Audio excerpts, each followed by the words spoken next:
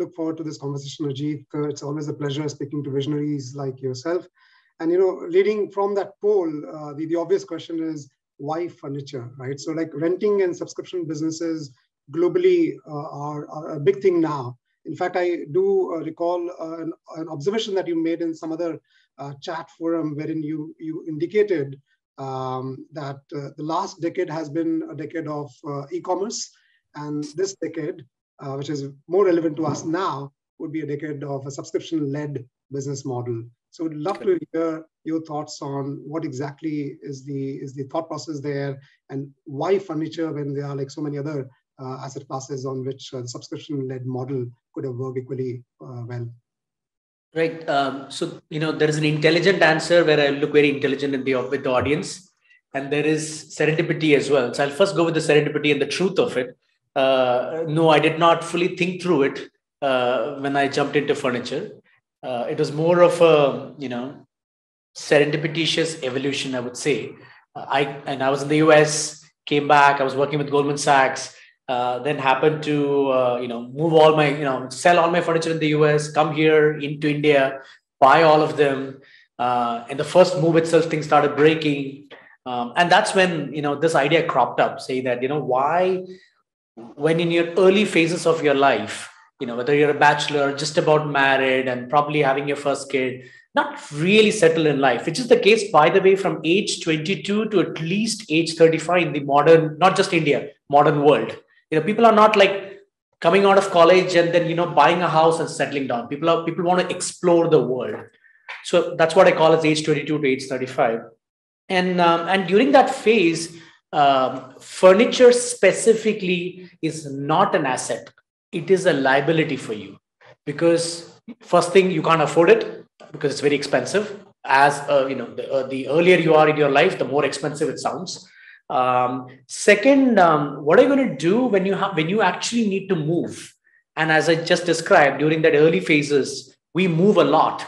There's change is a constant at that time those phases of life. So, you know, you buy a sofa worth whatever, 50,000 rupees. I I'm going to use rupees. I mean, please translate into the respective countries, dollars or whatever.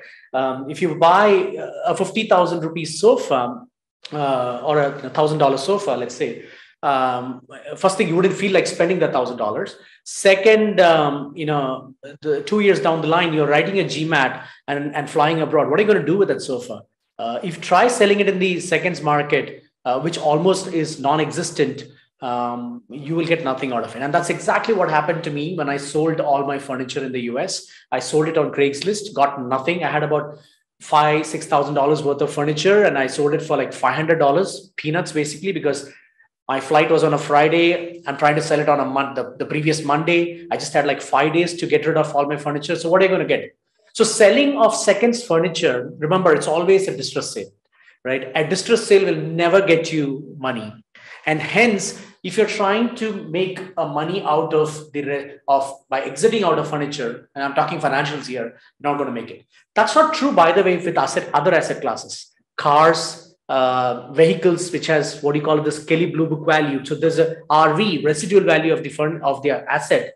So and there is a you know, market out there where you can actually sell your uh, car and get some money out of it. That's not true with furniture. So um, which which by the way are all negatives for me not to get into this particular business. But then that's the opportunity, right? I mean, you walk into a village where there are no shoes. Do you walk away saying that there's no demand? or do you say that oh, you know let me produce shoes so i just decided to produce the shoes in this case you know making furniture or renting furniture per se so uh, practically when we entered uh, india there was there were there were zero brands of course. We are the first brand in india to create rental furniture. Um, second the concept of rental furniture never was there. Um, india i mean the answer, direct answer given to me was uh, indians will not rent. There is no chance. Uh, it, it's all furniture is meant to be bought. And I have been questioning that uh, thing that why do you think it needs to be bought? Uh, why can't subscription be an answer for that? Um, I'll just explain the rental and subscription. It's very synonymously used, but they're not exactly the same. But let's go with rental for now. Uh, there is there's absolute absolute clear definition of both of those. But you know, starting with this easier word, which is rental, um, pe- people didn't subscribe to it. Uh, when I just bounced it off uh, the idea to with people, will you rent furniture? People like, yeah, maybe, you know, for a week, 10 days. Uh, I mean, even in your audience, you know, one third of them who said they've rented, I'm not sure how long would they have uh, rented it for. So renting is seen as a transient phase that you come in and go out. Um, can a business be made out of that? Absolutely. We have made a business out of that. Uh, but Furlenco has not been created with that idea. Furlenco is not trying to be a transient solution for you uh, for a short period of time. It does do that business. It does uh, create that uh, value, of course. But we exist because we want to change access to furniture into subscription. And that is where I'm going to separate the word subscription. So, what is rental? What is subscription? Rental is, as I just said, it's for transient use. You you rent a product because you know that you don't want to buy it so you're going to re- use it for some time and give it away that's the that's the let's say the definition of renting subscription is a way of life you were renting a dvd or a video cassette depending upon which decade you were born uh, from the shops.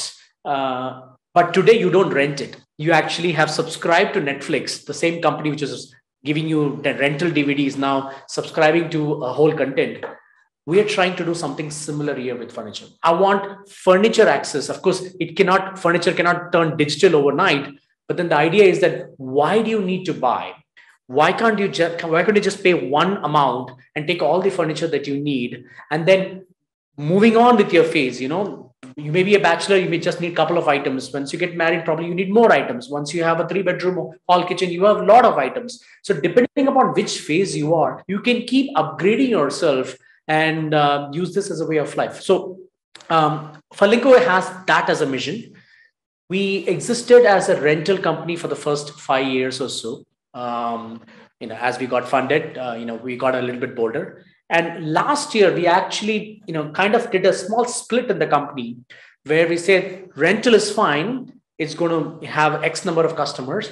We will start subscription as well, which is what we call as unlimited by Furlenco. And there we have, you know, you know, it's a buffet model of Furlenco where we are saying that look, you just press a button, pay, you know, here in Indian rupees, 6,000 rupees per month, annualized, you get 72,000 rupees.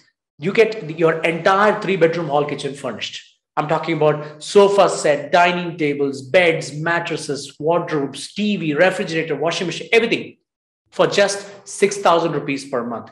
It beats any credit system by at least, you know, by one third. You know so that it's it's it's actually that cheap. So it's a great value proposition for people to latch on to it. And of course we are already making money uh, from that front. So i'm just going to pause there manmohan. I just want to give you an introduction of it you know with more questions i'll, I'll dive deeper into any of those aspects no absolutely ajith i think that's a very very powerful vision that you laid out and i'm sure uh, in the last uh, uh decade or so uh, you've seen the success at your own shop in terms of you know how the, the mindset has changed, how the acceptability has uh, improved. And again, as you very rightly uh, quoted that, you know, when you walk into a place where you don't see something, doesn't mean that the demand is not there. It's just that nobody actually made the effort to offer it in a convenient manner, actually. Right. So that's exactly. super, super powerful and look forward to this uh, uh, continuing journey. Uh, if I can just also uh, uh, request you to expand a little bit in terms of why you strongly believe that this decade is going to be a subscription slash renting uh, business decade uh, would be, be, great for our audience to kind of you know hear from you on that yeah so um, i'm of the belief that when you're buying into a product you're basically saying that there's not going to be any improvement on that particular product for a long period of time. Of course you can't debate uh, things like uh, groceries and you know any consumption thing. Uh, you can't debate that you know you have to buy it. Or maybe you know there the word subscription comes a little bit different. Do you want a coffee every day so you subscribe to it? That's a different you know interpretation of subscription but if you look at subscription as uh, subsidizing uh, the cost of a product uh, then it becomes a little bit different. What i mean by that is in a subscription based economy the customer does not pay the full price of the product on day one. And it is actually a great advantage to the customer. You know you you you when you walk out of a, a car dealership or when you walk out of a furniture shop i'm talking about selling uh, shops um, the moment you walk out of the, the door uh, the deal is done, right? And there is no, other than the warranties given by the respective companies, there's not much you can do about, um, you know, what happens to that particular product after a few years. It's your problem. It's, it's your product. You are the owner. You're the title owner of it, right? Um, but what happens with subscription is that one, you are not paying the full price of it. Second, the company which has offered you the subscription is on the hook to provide not only the quality of product that they need to give you, but also the service around that particular product. More and more as we go along, product and service come together. For example, furniture. It's not just the furniture comes to your house. What are you going to do about cleaning that sofa where you've spilt wine after six months or one year? Who does that? You've got to spend it. And it costs money whether you spend it. But when you bundle it with subscription, that comes as part of it. Or what happens to the fact that after one year you actually have to move houses and you have to move cities?